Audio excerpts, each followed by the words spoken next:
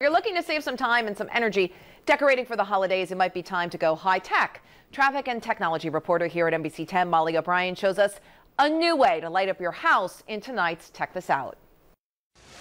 Why hassle with a string of lights when you can decorate for the holidays with one easy step?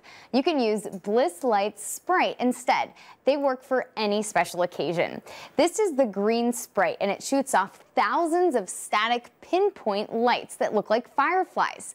The LED laser light from Bliss Lights can turn your front lawn, your home, even your living room into a beautifully decorated display. Each Sprite is low voltage, weather resistant, and super easy to install. For our indoor purposes, we've secured it onto a mic stand, but Bliss Lights has accessories so you don't have to stake them into the ground and in your yard if you don't want to. Say you want to attach it to your garage or onto a tree.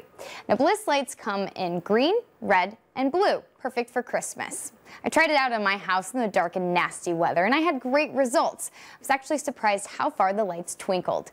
Here are some better pictures. On average, you'll get about a 25 foot by 25 foot area of coverage. With a transformer, you can plug the light into a standard 110 volt outlet, and it works in temperatures down to negative 15 degrees. The pinpoints of light can be mixed with traditional decorations for any event. Bliss lights are user friendly. You can set them up in just a few minutes.